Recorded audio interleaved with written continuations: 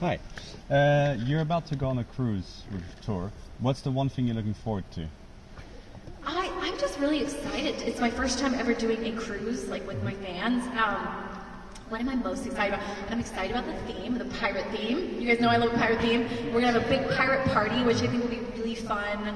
Um, I'm also excited that there is going to be like a deep cuts show where fans get to vote on the songs they want us to play, like songs that I've never even played live, you know, that I wrote so long ago.